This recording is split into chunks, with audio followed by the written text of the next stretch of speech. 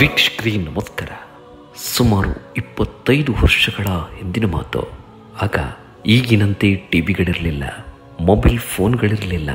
ಆಗ ಎತ್ತರದ ಬಿದಿರಿಗೆ ಕಟ್ಟಿದ್ದ ಟಿ ವಿ ಆಂಟನವನ್ನು ನೂರು ಸಲ ತಿರುಗಿಸಿ ತಿರುಗಿಸಿ ನಾವು ನೋಡುತ್ತಿದ್ದದ್ದು ದೂರದರ್ಶನ್ ಚಾನೆಲ್. ಈಗೆಲ್ಲ ಕ್ರಿಕೆಟ್ ನೋಡೋಕ್ಕೆ ಹಲವಾರು ಅವಕಾಶಗಳಿವೆ. ಆಗ ದೂರದರ್ಶನದಲ್ಲಿ ಮಾತ್ರ ಲೈವ್ ಕ್ರಿಕೆಟ್ ಸಿಗ್ತಾ ಇತ್ತು. ಭಾರತ ಪಾಕ್ ಕ್ರಿಕೆಟ್ ಮ್ಯಾಚ್ ಇದ್ದಾಗ ಟಿ ವಿಯಲ್ಲಿ ಸ್ಪಷ್ಟವಾಗಿ ಕಾಣುತ್ತಿದ್ದ ಬಬಲ್ಸ್ಗಳ ಮಧ್ಯೆ ಸ್ಕೋರ್ ಹುಡುಕಿ ಹುಡುಕಿ ನೋಡೋದೇ ಒಂದು ಮೋಜಿನ ಸಂಗತಿಯಾಗಿತ್ತು. ಸ್ಕೋರ್ ಕಾಣ್ತಿಲ್ಲ ಅಂದರೆ ಏನು ಮಾಡೋದು? ಆಂಟೆನವನ್ನು ಮತ್ತೆ ಮತ್ತೆ ತಿರುಗಿಸಿ ಸರ್ಕಸ್ ಮಾಡೋದು. ಗೆಳೆಯರೆ, ಆ ದಿನಗಳು ಎಷ್ಟು ಚೆನ್ನಾಗಿದ್ವು ಅಲ್ವಾ?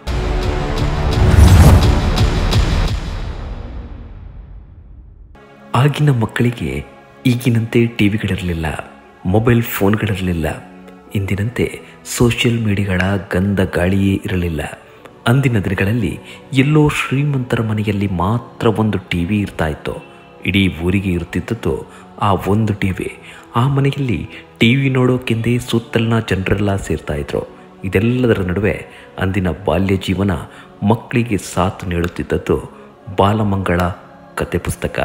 ಈ ಕತೆ ಪುಸ್ತಕ ನಿಜಕ್ಕೂ ವಾರಾಂತ್ಯದಲ್ಲಿ ಮಕ್ಕಳಿಗೆ ಅತ್ಯುತ್ತಮವಾದಂತಹ ಮಾಹಿತಿ, ಶಿಕ್ಷಣ, ಮನೋರಂಜನೆಯನ್ನು ನೀಡ್ತಾ ಇತ್ತು.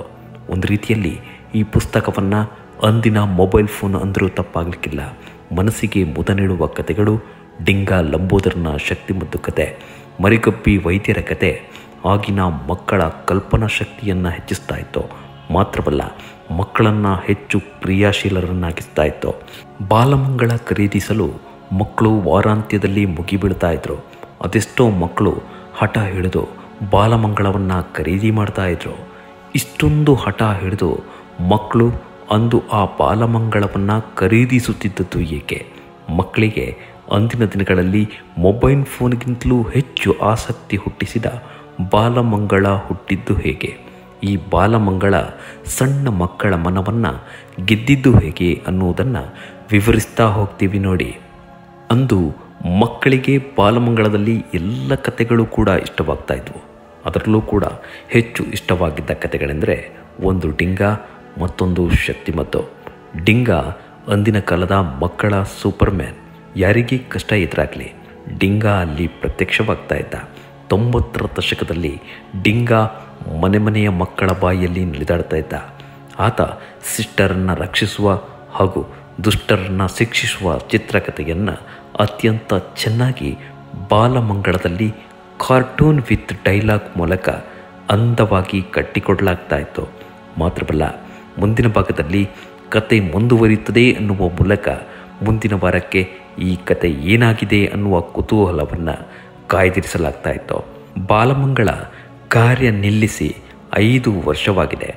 ಆದರೆ ಇಂದಿಗೂ ಕೂಡ ಡಿಂಗನಿಗೆ ಅಭಿಮಾನಿಗಳು ಕಡಿಮೆ ಆಗಿಲ್ಲ. ಆತನ ಹೆಸರಿನಲ್ಲಿ ಡಿಂಗನ ಅಭಿಮಾನಿಗಳ ಸಂಘ ಎಂಬ ಫೇಸ್ಬುಕ್ ಪೇಜ್ ಕೂಡ ಇದೆ. ಇನ್ನೂ ಒಂದು ವಿಶೇಷ ಅಂದರೆ ಬಾಲಮಂಗಳಾದ ಡಿಂಗನದ್ದು ಈಗ ಹೊಸ ಧರ್ಮ ಶುರುವಾಗಿದೆ. ವಿಶ್ವದ ಎಲ್ಲ ಧರ್ಮಗಳಿಗೆ ಸವಾಲೊಡ್ಡುವ ರೀತಿಯಲ್ಲಿ ಈಗ ಹೊಸದೊಂದು ಧರ್ಮ ಚಾಲ್ತಿಗೆ ಬಂದಿದೆ. ಅದು ಡಿಂಕೋಯಿಸಂ, ನೆರೆಯ ಕೇರಳದಲ್ಲಿ ಇದು ಜನ್ಮ ತಾಳಿದೆ ಅನ್ನೋದೇ ವಿಶೇಷ. ಹೌದು, ಎರಡು ಸಾವಿರದ ಹದಿನಾರರಲ್ಲಿ ಡಿಂಕು ಸಮುದಾಯಕ್ಕೆ ಸೇರಿದವರು ಅನ್ನಲಾದ ಸುಮಾರು ಐನೂರು ಜನರು ಅಲ್ಪಸಂಖ್ಯಾತರ ಸ್ಥಾನಮಾನ ನೀಡಬೇಕು ಎಂದು ಸರ್ಕಾರವನ್ನು ಒತ್ತಾಯಿಸಿದ್ದಾರೆ. ಡಿಂಕು ಧರ್ಮದ ಜನರಿಗೆ ಸೂಪರ್ ಇಲಿಯೇ ದೇವರು. ಸೂಪರ್ ಮ್ಯಾನ್ ರೀತಿಯಲ್ಲಿ ಕಾಣುವ ಇಲಿಯನ್ನು ಭಕ್ತಿ ಭಾವನಿಂದ ಪೂಜಿಸುವ ಇವರು ಇದನ್ನು ಲಾರ್ಡ್ ಡಿಂಗನ್ ಎಂದೇ ಕರೆಯುತ್ತಾರೆ. ಡಿಂಗನಿಗೆ ಅತಿಮಾನುಷ ಶಕ್ತಿ ಇದ್ದು ಕಷ್ಟದಲ್ಲಿರುವವರನ್ನ ರಕ್ಷಿಸಲು ತನ್ನ ಶಕ್ತಿಯನ್ನು ಬಳಸ್ಕೊಳ್ತಾನೆ. ಈ ಜಗತ್ತನ್ನು ಸೃಷ್ಟಿಸಿದ್ದು ಲಾರ್ಡ್ ಡಿಂಗ ಅನ್ನುವ ಡಿಂಗೋ ಧರ್ಮೀಯರು ಅದಕ್ಕೊಂದು ದಂತಕಥೆಯನ್ನು ಹೇಳ್ತಾರೆ. ದೇವರು ಒಮ್ಮೆ ಮರಗೆಣಸು ತಿಂತೆ ತಿನ್ನಂತೆ, ಹಾಗೆ ತಿನ್ನುತ್ತಾ ಬೋರ್ ಹೊಡೆದಾಗ ಒಮ್ಮೆ ನಕ್ಕು ಬಿಟ್ಟನಂತೆ ಅದು ದೇಶ, ಕಾಲ ಮತ್ತು ಜಗತ್ತಿನ ಸೃಷ್ಟಿಗೆ ಕಾರಣವಾಯಿತು ಎಂದು ಆ ಕತೆ ಹೇಳುತ್ತದೆ. ಇದೇ ಕಥೆಯನ್ನು ಡಿಂಗನರು ಬಿಗ್ ಬ್ಯಾಂಗ್ ಥಿಯರಿಗೆ ಹೋಲಿಸಿ ಬಿಗ್ ಲಾಫಿಂಗ್ ಥಿಯರಿ ಎನ್ನುತ್ತಾರೆ. ಇದು ಡಿಂಗ ಕಥೆಯ ವಿಚಾರವಾದರೆ ಇನ್ನೊಂದು ಶಕ್ತಿಮದ್ದು ಕತೆ. ಬಾಲಮಂಗಳದ ವೈದ್ಯರು ಮತ್ತು ಲಂಬೋದರನ ಕಾನ್ಸೆಪ್ಟ್ ಇಂದಿಗೂ ಕೂಡ ಜನರ ಮನಸ್ಸಿನಲ್ಲಿ ಹಚ್ಚ ಹಸುರಾಗಿದೆ. ಇದುವೇ ಬಾಲಮಂಗಳ ಪುಸ್ತಕದ ಯಶಸ್ಸಿಗೆ ಇರುವ ಸಾಕ್ಷಿಯಾಗಿದೆ. ವೈದ್ಯರು ತೆಳ್ಳಗೆ ಇರುವ ಲಂಬೋದರನಿಗೆ ಶಕ್ತಿ ಬರುವ ಮದ್ದು ತಯಾರಿಸಿಕೊಡುವುದು, ಅದನ್ನು ಶತ್ರುಗಳು ಶಕ್ತಿ ಮದ್ದು ಕದಿಯಲು ಇವರ ಮೇಲೆ ದಾಳಿ ಮಾಡಲು ಯತ್ನಿಸಿದಾಗ ಲಂಬೋದರ ಶಕ್ತಿ ಮದ್ದು ಕುಡಿದು ಯತ್ವ ತತ್ವ ಬಾರಿಸುತ್ತಿದ್ದದ್ದು ಆಗ ಸಣ್ಣ ಪಕ್ಷಿ ಅಂದರೆ ಮರಿಗುಬ್ಬಿ ಲಂಬೋದರನ ಫೈಟ್ಗೆ ಅಳಿಲು ಸೇವೆ ಮಾಡಿಸುತ್ತಿದ್ದದ್ದು, ಇವೆಲ್ಲವೂ ಕೂಡ ಇಂದಿಗೂ ಓದುಗರ ಮನಪಟದಲ್ಲಿ ಅಚ್ಚಳಿಯದೆ ಉಳಿದಿದೆ. ಸಾವಿರದ ಒಂಬೈನೂರ ಎಂಬತ್ತೆಂಟರಲ್ಲಿ ಬಾಲಮಂಗಳ ಕನ್ನಡ ಆವೃತ್ತಿ ಆರಂಭವಾಯಿತು. ಕೇರಳ ಮೂಲದ ಮಂಗಳಂ ಪಬ್ಲಿಕೇಶನ್ಸ್ ಕೇರಳದಲ್ಲಿ ಬಾಲಮಂಗಳಂ ಅಂತ ಮಕ್ಕಳ ಮ್ಯಾಗ್ಝಿನ್ ಹೊರಗೆ ತಂದಿತು ಸೋಮಶೇಖರ್ ಅನ್ನುವವರು ಇದಕ್ಕೆ ಸಂಪಾದಕರಾಗಿದ್ದರು ಅವರು ಡಿಂಗಾ ಲಂಬೋದರನ ಕತೆ ಬರೀತಾ ಇದ್ದರು ಬೇಬಿ ಅನ್ನುವರು ಡಿಂಗಾ ಲಂಬೋದರ ಸೇರಿದಂತೆ ಪಾತ್ರವರ್ಗದ ಚಿತ್ರಗಳನ್ನು ಬರಿತಾ ಇದ್ರು. ಕೆಲವೊಂದು ಸಣ್ಣ ಪುಟ್ಟ ಬದಲಾವಣೆ ಮಾಡಿಕೊಂಡು ಅನುವಾದಿಸಿ ಇದನ್ನೇ ಕನ್ನಡ ಆವೃತ್ತಿಯಲ್ಲೂ ಕೂಡ ಪ್ರಕಟಿಸಲಾಗ್ತಾ ಇತ್ತು. ಆರಂಭದಲ್ಲಿ ಒಂದು ರೂಪಾಯಿಗೆ ಮಕ್ಕಳಿಗೆ ಬಾಲಮಂಗಳ ದೊರೀತಾ ಇತ್ತು. ವಾರದಲ್ಲಿ ಮಕ್ಕಳ ಕೈ ಸಿರುತ್ತಿದ್ದ ಬಾಲಮಂಗಳ ಎಲ್ಲಾದರೂ ತಡವಾಗಿ ಮಾರುಕಟ್ಟೆಗೆ ಬಂದರೆ ಮಕ್ಕಳು ನಿರಾಶರಾಗ್ತಾ ಇದ್ರು. ಹೀಗಾಗಿ ಬಾಲಮಂಗಳದ ಆಡಳಿತ ಮಂಡಳಿ ಮಾರುಕಟ್ಟೆಗೆ ಬಾಲಮಂಗಳ ತಡವಾಗಿ ಹೋಗದಂತೆ ಎಚ್ಚರಿಕೆ ವಹಿಸ್ತಾ ಇತ್ತು ಅದಕ್ಕೆ ಬೇಕಿರುವ ಅಗತ್ಯ ಕ್ರಮಗಳನ್ನು ತೆಗೆದುಕೊಳ್ತಾ ಇತ್ತು ಮಕ್ಕಳಂತೂ ಐಸ್ ಕ್ರೀಮ್ ಬೇಡ, ಚಾಕ್ಲೇಟ್ ಬೇಡ, ಬಾಲಮಂಗಳ ತಂದು ಕೊಡಿ ಅಂತ ಪೋಷಕರಿಗೆ ಒತ್ತಾಯಿಸ್ತಾ ಇದ್ರು ಅಷ್ಟರ ಮಟ್ಟಿಗೆ ಬಾಲಮಂಗಳ ಮಕ್ಕಳ ಅಚ್ಚುಮೆಚ್ಚಾಗಿತ್ತು. ಇದನ್ನು ಸ್ವತಃ ಕನ್ನಡ ಆವೃತ್ತಿ ಬಾಲಮಂಗಳದ ಕಾರ್ಯನಿರ್ವಾಹಕ ಸಂಪಾದಕ ನರೇಂದ್ರ ಪರಕಟ್ಟೆಯವರು ನೆನಪಿಸಿಕೊಳ್ತಾರೆ.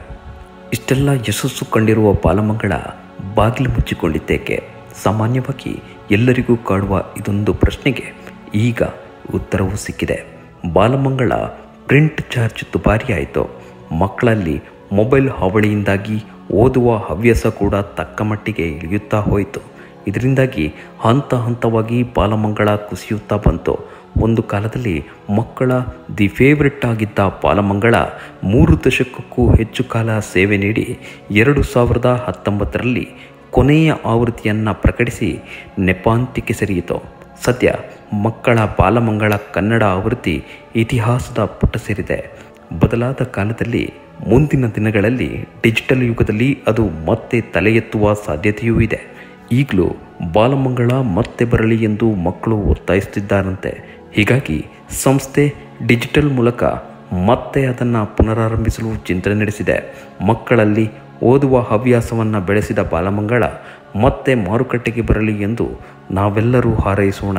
ಈ ಬಗ್ಗೆ ನಿಮಗೇನನಿಸುತ್ತೆ ಬಾಲಮಂಗಳ ಜೊತೆಗಿನ ನಿಮ್ಮ ಒಡನಾಟವನ್ನು ಕಾಮೆಂಟ್ ಮೂಲಕ ತಿಳಿಸಿ. ಧನ್ಯವಾದಗಳು. ನಮಸ್ಕಾರ.